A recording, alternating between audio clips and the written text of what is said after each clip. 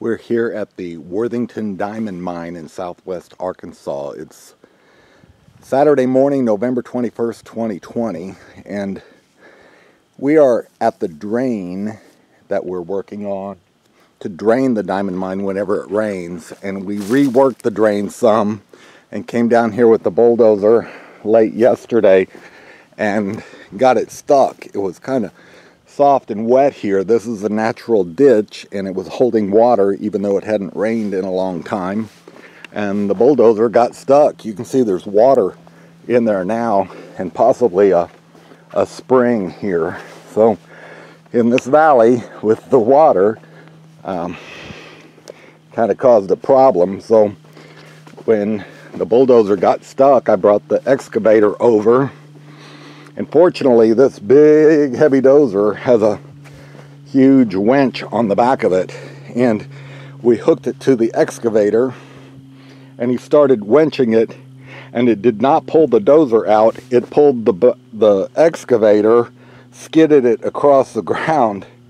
And he had me grab a stump with the front end and it still skidded across the ground.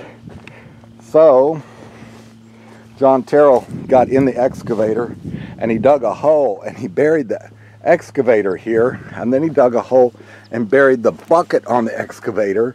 So we were well anchored. And then he used the winch to pull the dozer out of the hole. And it was dark 30 then. I mean the moon was out and he needed to go. I needed to go. It was late. And so we just left it.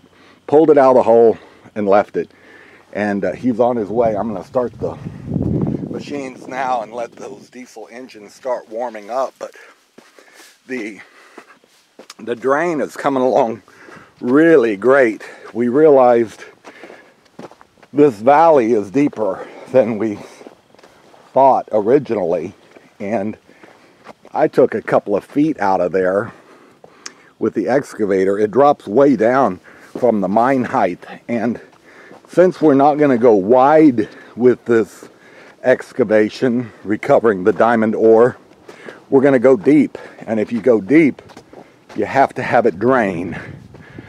So,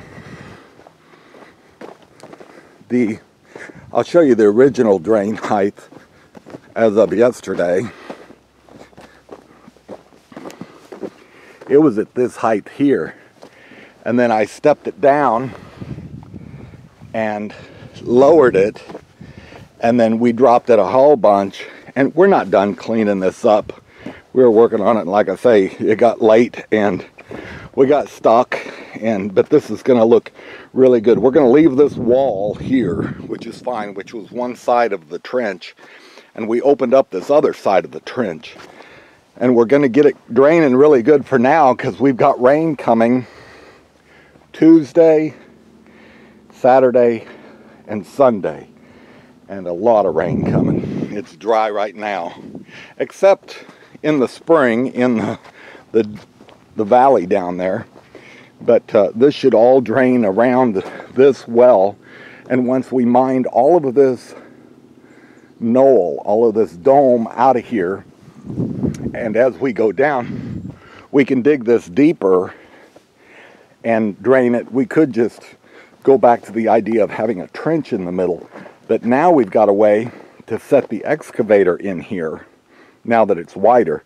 Set the excavator in and dig it down. We could probably go five feet deeper here and still have slope to this valley. It's that deep of a valley. So that's really good for the volume of diamond material I want to dig out of there eventually. We'll we'll see what the future holds, but that's the plan. We can, we'll have natural gravity flow out of our open pit mine to get the rainwater out. So it's all coming together and later today, well, John's going to get this all cleaned up and then I'm going to go to Glenwood and get seed and fertilizer and we'll get this planted before the rains come. So it's going to look great. Thank you for joining me and check back and I'll give you an update on what's happening here at the Worthington Diamond Mine just outside of the world famous Crater of Diamond State Park.